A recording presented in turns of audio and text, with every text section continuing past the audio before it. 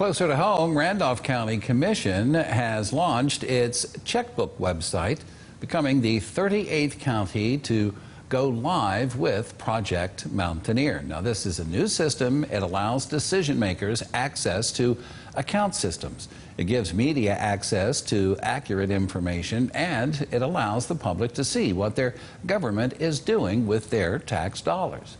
State Auditor J.B. McCuskey spoke on how this website shows full transparency and holds elected officials accountable. The most important one is it starts to rebuild the trust between taxpayers and their government, and it enables us as government officials to move boldly forward to do things that better our communities, knowing that our, our constituents are going to see what we did and they're going to hold us accountable for our actions.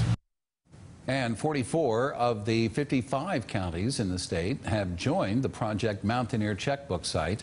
And to find out more information and links to their websites, head over to WBOY.com.